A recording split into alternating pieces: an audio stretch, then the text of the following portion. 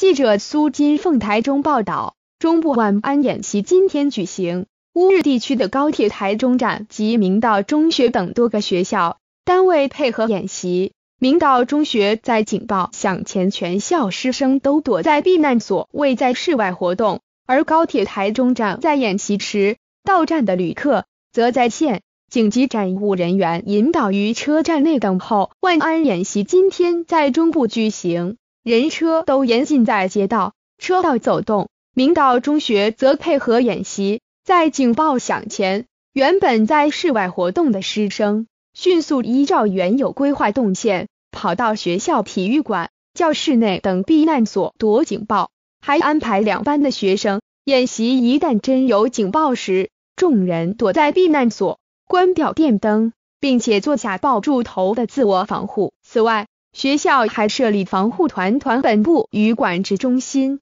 在警报响起即展开启动运作。其安全防护队、消防抢救队、医疗救护队、工程抢修队、供应队人员与装备都整备就绪，提供受灾民众防空避难所具备容纳效果。同时，学校的各行政办公室、教室门窗都紧闭住，电灯关闭。室外都看不到人。内政部警政署专员玉兆林与乌日分局长吴耀南前往明道中学进行视察，在校长汪大九陪同下了解演习情形，对于明道中学配合政府进行演习表示感谢，认为可建立学生居安思危的观念。此外，高铁台中站也配合演习，对于到站的旅客，则在游线。紧急站务人员引导于车站内等候，民众都知道在进行万安演习，都能耐心在等候。乌日分局还协请高铁公司在演习开始时